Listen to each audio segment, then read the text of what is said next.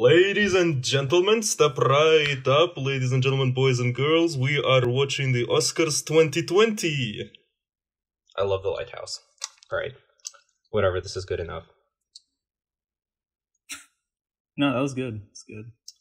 Yeah, I like All it. I didn't. I died inside doing it. That's okay. Now you know how I felt when I did the Now This Is podcast. Okay, that was phenomenal. that was Now great. Yeah. this is yes. We're leaving this all in, right? Alrighty then. I say I'm Um, not. I'm not fucking syncing up again. It So- sucks. So yeah, we're we're all I, here. I just take your cue. I, I actually I will say that um hello friends, this is Beyond the Silver Screen. We are bringing this podcast to you through Discord, so expect a lot of technical hiccups and it's going to be a motherfucking mess. Other than that, yeah, we are very happy to be it's doing this. awful. I am forcing everybody else to do this at gunpoint. I just take your from cue. three different locations. All right, yeah. So we're here to talk about the best films of 2019 because almost nothing's come out this year. Sonic the Hedgehog. Oh yeah, Sonic the Hedgehog and Birds of Jim Prey. Carrey. So Dr. Robotnik, Jim Carrey, best actor. Best actor. uh, Margot Robbie, Best Actress for Birds of Prey. yeah, no. So we've decided to talk about the films of 2019, the Academy Awards, and just kind of like reflect on like what won, what we think should have won, The what Lighthouse. wasn't even nominated, snubbed, stuff the like that. Lighthouse. Yeah. Yeah, we can hear Oleg say the lighthouse a lot in this one. It's so good. But yeah, so I feel like we just take it uh, category by category, and yeah, I'll read off the nominees and who won, and we'll just kind of go at it. So, yeah, what do you guys think? That sounds I think we should start with the lower categories first and work our way up. No, that sounds like an awful Replay. plan. And I think like the like the Academy Awards, let's cut out like cinematography because who cares? And yeah, I mean, Cinematography has nothing to do with cinema. nothing, nothing at all. Yeah, I, I, I think I think like in this podcast, And we should cinematography only goes focus to the um, Birds of Prey. costume design because that's like the only one I care about. Hey, don't you sleep costume- on costume, costume design. design's That's, pretty that, important. that category slaps, dude. Well, yeah, but it wasn't given to the lighthouse. I do think the winner deserves. Yeah, I think the winner for that category No, actually, was Lil, very, Lil, Very, Lil very well had deserved. Phenomenal costumes. Like I have no qualms with that. Absolutely. No, I think Joker should have won for all one costume that it had. that was some great costume design that they definitely just told everyone to bring their own clothes. Gamers rise! it was a solid costume, I will say. But yeah, um, actually, do you want to start with costume design? Because might as well. Sure. Yeah. All right, I'm Already there. All right. You want all to right. read So it um, best cost. Yep, best costume design uh, nominated was the Irish. So wait, are you going to read it out? Yeah, he will. Yeah, Are you I gonna- am, are you I am gonna reading read it it out. Jeez, guys. Smooth. Ah. All right, so for best costume design, nominated was The Irishman, Jojo Rabbit, Joker, Once Upon a Time in Hollywood, and Little Women was the winner. So, yeah, Yes. I agree That's with that. correct. With all due respect, what the fuck is Joker doing on this list? Like, it's not a it's not a bad film. It it's a good film. Let's be honest. But like, costume design for Yeah, I the don't know red what like suit thinking. of Joaquin Phoenix, like, get the fuck out. Yeah, that's a, a, a- a questionable inclusion, I'll say. But uh, I don't know. I, I I guess maybe because it, it fits with the times well, like the time is of the setting. I guess, but As I in, mean, like, but- people wear clothes because it's I not mean- the Stone Age. Fucking. It, it, it basically looks like somebody raided my wardrobe because everybody's because wearing everybody a is an waistcoat. incel. I understand. hmm understandable. Honestly, like, um, I'm trying to think of like anything that got snubbed here, but I nothing really comes to mind personally. Maybe Rocket Man. Rocket Man had some phenomenal costumes, especially like when they're I will say. Recreating I will John. say. I, I think The two s- costumes that were on show in the lighthouse were very, very good. I'm even not being sarcastic or I ironic. was gonna say I think I think Oleg might know a, a thing that got snubbed. yeah, he, he brought it up. He's made his case. I happen to, yes. But yeah, I would say I think Rocket Man is one film I think got snubbed because I do think the Elton John Who costumes Rocket Man? very nice, looked great. Does anybody here actually disagree with uh, the decision of the Academy, giving the best costume design Nope, Oscar this to was Little very. Women? Nope, this was a great I choice. no. Little Yeah. Women had a did a great job, and um, the dresses were very meticulously researched to properly show the class of every single person who was wearing them throughout the film, and they all look great. So I have no Mhm. quarrels whatsoever. I agree with that. Yeah, I got nothing. All right, so let's move on to Yeah, sounds good. best to me. makeup and hairstyling. We have nominated Joker again. No, I'm telling you, man, like they were totally pushing Joker to be the most nominated movie of the year. they really tried. Like some of these are like stretching it, but yeah. So we have Which is Joker. odd because they fucking hated Joker. Wait, Is it just because it got so much fan praise that they were like, well, Best guess we have animated to- short film, Joker. Joker. Yeah, fucking lean into it, mate. I mean, because But I love Joker, qualify but for best documentary short, but it fucking does now, bitch. Joker. We changed the rules. It has to be a documentary. It has to be less than 40 minutes. And the only exception to this is it is Joker 2019. Best original song, Joker. I mean, actually, though, the Original song? There's no original Well, no, song. I didn't say soundtrack. so- Uh, well, does that in- does that include soundtrack though? Because that's technically a song. No, original song does not include soundtrack. Is different than And also, soundtrack. like, yeah. I know that this varies from like band to band, but in general, song implies lyrics. typically. what, what was that? I Like couldn't hear. soundtrack doesn't imply lyrics, but a song typically does. there are exceptions to that for sure. Can I uh can I say something about best original song? Oh No. I mean we're doing makeup and hairstyling, well, so do we want to yeah, keep let it me do makeup and hairstyling. Fine. We we can go to song afterward if you want. Like Fine. yeah. Okay, I will wait. I will All right, withhold. so So yeah, best best makeup and hairstyling. We have Joker, Judy, Maleficent, Mistress of Evil, uh, 1917, and Bombshell, which also who was won, hairstyled so- in 1917? I- Who wore I don't know makeup on the battlefield in the trenches? They all just had fucking undercuts. Like, yeah, I don't want to sound ignorant, but like, it, I'm, I'm sure the people who are working Too on late. these movies did a lot of work. But like, what about the makeup in 1917? Is that exceptional? Yeah, I- Nothing, dude. A fucking the a fucking uh, tree in a drought did all of the makeup and hairstyling. They just told the actors to go rub their hair in the dirt, and that was that was it. Yeah, I, I think the makeup I haven't seen Bombshell, but I saw like the the trailer and I thought it looked good. So Yeah, it looked fantastic. It's Yeah. it's definitely following up in the like the Vice vein of like a movie that for Is all intents totally and not- purposes yeah. is not good, but just like the makeup and hairstyling is good, and so it gets an Oscar anyways. I'm going to say it's one of those movies where it's like, well, they looked. Ri-. It's one of them where it's uh the only praise anybody ever gives it is they looked exactly like the real person. It was. Granted, it was they like I did, was so, looking I at my mother. They really did. They really did. But also, Well, they they did, but Yeah. again, you know how much praise is that? yeah, I have nothing else to say about this category. yeah, we were, yeah, we're, we're shooting through them fast. all right. Yeah, I mean, we're, okay. we're we're gonna slow down once we hit like we'll you slow know, down for the bigger ones. We're just getting through the Wait, small wait, ones. I want to talk about the makeup and Joker, though. Oh my god, dude, the way Joaquin Phoenix is okay, Flawless. fucking move on. Beautiful. So yeah, um, as as promised, Andrew, best original song. We have Okay, I go can't ahead. I can't let you throw yourself away from Toy Story 4. I'm standing with you from Breakthrough. Into the Unknown from Frozen 2. Stand Up from Harriet and the winner, I'm Gonna Love Me Again from Rocket Man. And I totally agree because it's about time Elton John and Bernie Sanders. got an award. Yes. I don't think I saw a single one of those movies.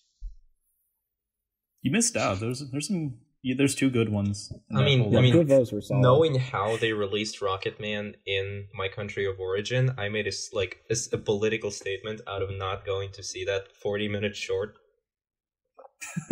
yeah, best Yeah, that's best fair, live action actually. short. I I re- I respect that decision on your behalf. Like I really do. Like go you for that one. I agree. Yeah. Um, I have a few. I have I have something I'd like to say about best original song, just in general, which is that this is a useless category. Like Well, this category shouldn't exist. Like okay, and and hear me out. Like I I love music. Like I play like four instruments and sing. Like I love and I listen to music all the time. I'm not good at it or anything, but like music is big in my life. But like, like, okay, so I'm gonna love me again. Like a lot of winners of this category is sung or like performed during the credits of the film, which means it's not even part of the movie. I mean, they still they like. I understand where you're coming from, but they're still recognizing the work that somebody did for the film. That's true, but like in a day and age where people are talking about like, oh, we need to cut categories from the Oscars, in my opinion, best original song should be the first one to go. Because not only is it the category that least relates to the actual construction of the film, in fact, it most often is made completely separate from the film without really too much thought given to its impact in the movie itself, bar whether it's a musical or not. And then also, if you get rid of best original song, that saves you like 20 minutes of screen time because that cuts off all the performances. Hey, hey, I don't know if you know this, but um, they don't really give a fuck. they, Did you- the more screen time they take, the better. Did you see the thing where uh, Taika Waititi on Twitter jokingly was like, you know, it's at least one good thing about 2020 is the Oscars for this year will be 30 minutes long, and then someone responded to it saying, or four hours long because of the in memoriam section. Are Jesus. we keeping that in? Dude, that's hilarious. I, I would leave it in there. I'm down. That that is is, pretty good. That's it is pretty funny, a little grim, but it's pretty funny. Well, beyond that, in terms of in, considering the category does still exist against against my uh, my better premonitions, I, de- I definitely think swapping it out for like best lighting or something would make a lot more sense. But but I yeah, digress. it's weird. We don't have a lighting category. We don't have lighting. We don't have like choreography for stunts or musicals, but whatever. Um, best original song. Yeah, I agree with this pick. Um, I would like to throw out there that, like usual, um, Frozen 2, they definitely did not pick the best song in that movie. They picked what is maybe the third best song in the movie. Show Yourself and Lost in the Woods were much better. what And- about what about uh, the I think they wanted to treat Into the What's Unknown as like the spiritual sequel, so to speak, to uh, Let It Go. And they didn't It's- exactly it's succeed. not as- Einish, Einish, I I've- want to throw out there that you said Sven's song, and that is Lost in the Woods, and you Oh. left the theater for that scene, and that song is actually fantastic. Like, I'm absolutely not kidding. That song is actually really good. I finally watched it on Disney Plus, the scene, and I think It's, It's also pretty- far pretty- more like funny. expertly constructed than most of the songs here. Like, I'm not trying to make Frozen 2 seem like it was on its A game, because most of the songs and all of the lyrics in that film are just the movie was bad. pretty solidly on its like C plus game throughout, maybe B Yeah, minus really game. was. I Yes. do. But oh, Lost sorry. in the Woods is a solid, like, probably something like 15 plus chords, and it's actually a pretty complicated song, and it sounds wonderful. So, Yeah, I- would would say that that would that should have uh, been the been the given that or show yourself, which I like even more. Show Yourself was actually pretty good. I, that was the one bit where I'm like, am I feeling something in my heart when I hear this song? I, I think Whoa. that uh, R. R. Kelly really likes uh, the song "Show Yourself." Oh, God, beautiful. dude. Yeah. and as I don't was trying to might- say we might for want to cut that a minute now, because I keep cutting into while somebody's speaking. Um, into This the is unknown. why we could never do this broadcast. This is why we could never do this podcast on like a live radio program. Um, okay, we're never gonna make it to a live radio program. That's a. We literally have like Hey, three audience members six- finishing one of our videos just because it. all six of them want to see us on the radio. Dude, we don't Even even have six. none of we them. don't have six. Dude. Hey, we, our last video got like 20 views. We've Yeah, most of them least watch until like the fifteenth minute at most. yeah. But yeah, what I was true. trying to say is that um, coming back to the uh, best original song, I think "Into the Unknown" is definitely shat on too much, but I think that that is not as much due to the song itself as it is due to the performance. And I, in by no means, mean to bash like uh, Kristen Anderson Lopez, but I, I feel like that was one of the blander songs she's like put out. Yeah. Yeah, Yeah, I agree. I and agree. also lyrically, I think the song is just very like It's- bad. It's okay, like, it's bland. It's just very bla- it. Yeah, the lyrics are just very blatant and expository, and also they like make no sense. She goes from saying, "I'm never going to go on an adventure" to "I want to go on an adventure" over the course of literally well, it's supposed to be like a progression where it's like at first the person is like very reluctant and like suppressing the drive within themselves, and then like through like throughout the song they Conceal, don't grow feel, into don't let them know. like wanting to chase that feeling and go on an adventure. But I will absolutely agree that this was not the best way to do that. yeah. Okay. Good. We're in agreement. Nice. Alrighty. Also, stand up. Just want to throw it out there that both stand up and I can't let you throw yourself away are actually pretty solid tunes. I like would like I, to would like to say it. I like the uh, the Toy Story 4 song. It was pretty funny. It was charming. Alrighty. Okay. Anything else? So, y- no, anything No, else? I haven't seen any of these movies, so Alrighty. can't Yeah, really Alex weigh in. prepared for this podcast meticulously. You watched. I'm not- I'm not watching movie. Okay, movies for the fucking to give Alex original credit, song he watched category. most of the best picture nominees, so like he did work. he did real work. Look, I'm, I'm I'm I'm not I'm not going to waste my time watching stuff specifically for original sound. See, Alex is proving my point here. Yeah, Thank you, Alex. I, I even have a background in fucking music. I'm not wasting my time with that shit, man. so let's not Yeah. waste our time on it. Do you wanna Casually talk about insulting visual people who effects? worked hard on these songs. Fuck them. Let's move on. Well, No, yeah, I have fuck no, 'em. I have no quarrels with the song. No, I'm just I I'm just making fun think of that, Alex like, because that's it's worthwhile. Sa- It's save just- it for I the don't think Grammys. the category is very important. no. I'm not. I'm Yeah, not let's talk about mentioning anybody for Grammys. not Honoring appreciating how a the comedy. I just like it's a hobby to shit on everything Alex like stands for and believes in, and that's what I'm doing. this is true. Let's talk about the Grammys and um album of the year. Okay, album of the year is a fucking shit show. You think the Oscars are bad? God, Uh, damn. let's let's save it for another time. I feel like. Alrighty. So, you guys want to talk about best visual effects? Oh, we're already have move, moving to up in the world. Do we want to I mean, do some? I'm just jumping around on these. Okay, I mean, no, that's that's cool want. by me. Yeah, because I also have stuff All to right. say, Okay, best visual effects nominated: Avengers: Endgame, which should have been the, winner. Irishman. Should have been the. I agree. Uh, then The Irishman, The Lion King, which okay, good visual effects, but I don't want that movie to win an award. Uh, the Rise of Skywalker, and the winner, 1917. Dude, they added that fucking CGI fog. That was fucking amazing. Mm. yeah, I, I guess I am a little bit unclear on exactly what they did. like best set design, sure. Like that set was pretty awesome, but visual effects, I'm like, It's not like they didn't have visual effects. It's not like the visual effects that were present were bad. they but, weren't. like- they were good. Avengers Endgame. And even the motherfucking Rise of Skywalker, which still had special effects. Not all of them were good, but it had like actual visible special effects, or like in this lineup. Like, we're not grading whether or not it's a good movie, which I agree, 1917 is an amazing movie, but we're, we're, we're trying to establish whether or not the effects in the movie are the best. And 1917 In does vein, nothing right. spectacular, nothing groundbreaking in that regard. And in that vein, Lion King, like while I do not like the movie, I think it's in my top 10 worst of the year. I do think the visual effects are fantastic. Like it looks really good. The movie looks great. So and it's much more Um, like technically complex than 1917, I would say Well, visual effects I, wise. I I don't know about that. See, my my rule for visual effects, which uh, again, this is also only my rule, so who really gives a damn? But Skip.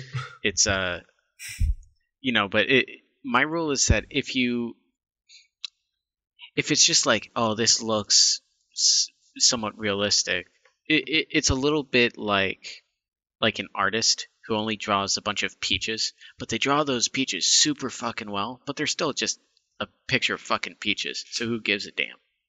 I'm sorry, I just want to clarify. So, what is your point here exactly? Well, my point is that uh, Lion King they managed to get you know pretty realistic effects even by today's standards, but at the same time, you know, there's no real character put into them. There's no artist touch. it, it's just very bland and flavorless. So who really gives a damn? I mean, I feel bad because like the visual visual effects artists in Hollywood aren't treated that well, and I feel like a lot of times they don't get due notice. I think And- the part Well, of the reason fair, why this but- movie was so fucking horrifying is because uh, the lions and other animals that were in the movie looked so realistic and so true to life that when they actually open They their couldn't mouths emote. and say words, Ugh. it's like it's such an uncanny valley moment that it takes you out of the movie and makes you want to run for the hills. Yeah. Speaking of which, are, that- are you guys ready to watch uh, I- The I- I Lady and the like Tramp. to- No, oh fuck that! I'm never watching that. No, fuck that. dude, shit. I already pre-ordered. I, I would I would like to throw out there though that um, the idea of making the Lion King where the animals are so realistic that they can't express emotion is unfathomably stupid. Like I I think Fully Dis- would like Disney Disney that, thinks but it's pretty smart considering how much they made. But and they made a I mean, shit they did ton. make a lot They of made a money. fucking shit ton. it's technically the highest grossing animated film of all time, which we can get into that. What- Um, what about but Trolls We're World not going to get into that because that would be a whole tangent. But I would like to like throw out there that like it's not the visual effects artist's fault that they were told to do something that wasn't a good idea if they did a great job at it. right? Yeah. No. Mm-hmm. So I, I can confirm as a visual effects artist if somebody's paying me to make something and they go, "Hey, include this really shitty piece of crap," I'll go, "Okay." if you say so.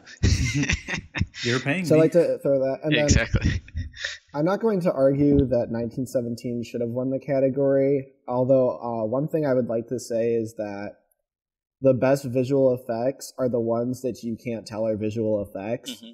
So if you sit through the entirety of 1917 and like don't notice there's visual effects through it, that means that the visual effects artist did such a good job that you can't tell where the visual effects are, Or, or Um, there's no visual effects. I mean, there or probably there's no were visual, visual effects. effects. And honestly, I it means can't tell. one of the two. I can't I can't tell you which of the two it is, but I think that is like something worth noting is that like that's that's the biggest problem with being a visual effects artist is that if you do your job really really well, no one knows you did a job in the first place. Okay, even That's given true, So but like okay, maybe sorry. maybe we should be giving 1917 a bit more of a benefit of the doubt in that Like, regard. But, maybe like, not saying it should win, but like we should give it that kind of benefit. of I will doubt. say that there totally Well, should be visual effects there because I don't think the Academy is exactly insane.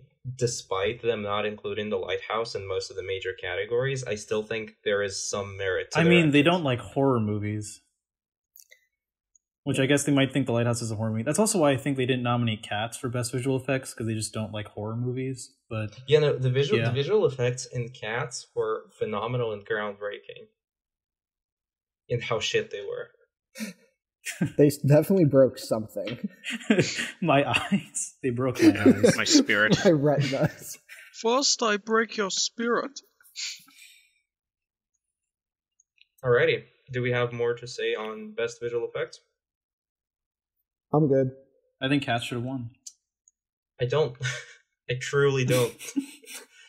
I Okay. disagree on many levels. I, I still personally So- think that um Avengers Endgame should have taken the cake. I don't know whether or not like Avengers Endgame not taking the cake was due to 1917 having amazing visual effects that we just didn't notice because of how amazing they were, or if there is a bias against like popcorn comic book films in general. But I do think like the visual effects in Avengers Endgame were awesome, even though like some people may not consider it cinema, but whatever, we're specifically grading visual effects. I I, mean, I, I do Bruce love Banner- the phrasing of that. Bruce Banner Hulk looks great, I thought, and Yeah. Even though some people think it's not fantastic. cinema. so you know, yeah. Alex, were you going to say something?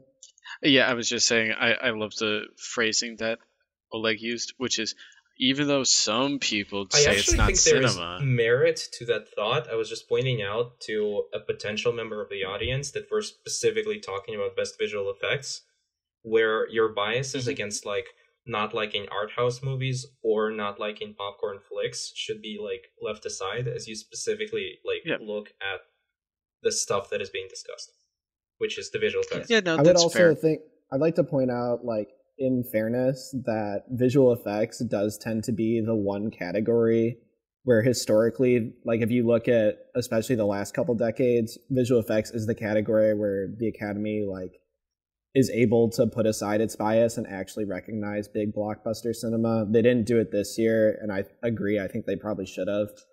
But like historically speaking, this category is a bit better about it than the rest of them. Mhm. So there's that. It's only the biggest pop culture, like you know, thing of the past. Well, that's decade. also not something that is being graded, admittedly. I know. I just feel like you know maybe something It was not on thrown those visual bone for effects, but yeah. Um. All right, next up, Einish. What is it? Alrighty. Uh. Next up, do we want to production design? You're calling the shots, Chief. Production whatever design. you Yeah, like. I was gonna say I don't know why you picked this order to go through it. I'm just There's yeah. I'm on like order the. on the webpage.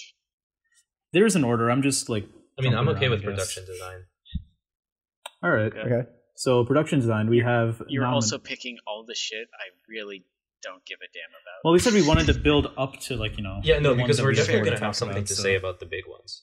we could sprinkle one interesting point in. So just So- give them a little something to stay stay for. Production design, we have Once Upon a Time in Hollywood, which won. Uh, but also nominated was The Irishman, Jojo Rabbit, 1917, and Parasite. So, Can I go first here? sure. Thanks. um, so personally, I think that best production design was the only category of the Oscars this year in which I agreed with all the nominations. Um, for me, this was for me, and I'm absolutely being 100% serious when I say this. This was for me probably one of the most interesting categories this year, specifically because I would have actually been happy with most, if and not all of these films winning. They didn't nominate Um, Cats. I fuck you. It really did take me to hell. really. So props to the production designers. yeah, I think Once Upon a Time in Hollywood was awesome. The fact that it, like, I saw Once Upon a Time in Hollywood on 35 millimeter film, and it literally felt like I was watching a movie made in 1969. So, and a lot of that was because they shut down parts of Los Angeles and converted them entirely into the past, which was really cool. The Irishman was pretty good.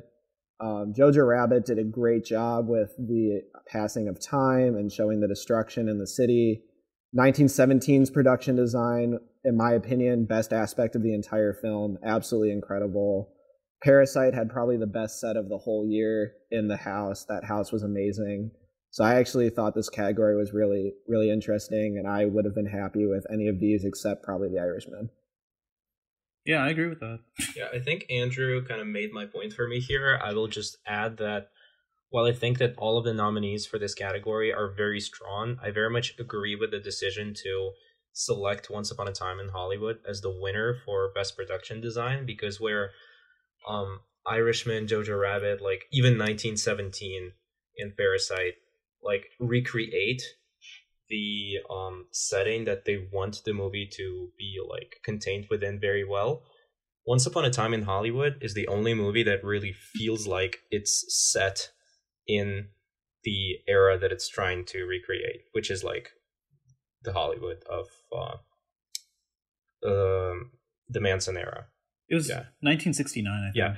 Because like uh, even even 1917 which comes very close i never i was never sitting there and truly believing that like i was watching a documentary about world war one with actual footage but once upon a time in hollywood except for like the over the top grotesque nature of the movie might as well be a documentary about hollywood at the time I, I, I don't know about that. I think 1917 was pretty true to uh, pretty true to form. Like I, I went back and uh, afterwards I watched uh, is it called? It's the one that uh, Jackson did. You know, Peter Jackson. Uh, the hobbit Yeah, yeah. They shall not um, grow old. they shall not be forgotten. Yes. Oh, they shall not grow old. That's it. Really uh, good. yeah.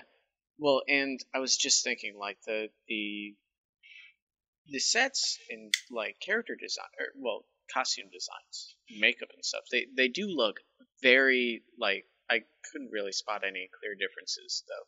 Again, I'm not a expert on. I feel War like One 1917, unlike Once Upon a Time in Hollywood, just felt a little too clean, a little too technically brilliant for me. that it, It, felt lost kind of like a set. the yeah whole exactly time, it kind of I lost the grit of reality that you especially want to communicate with a war movie Maybe. Uh, I don't know. It's it's an interesting question for sure. I'll say.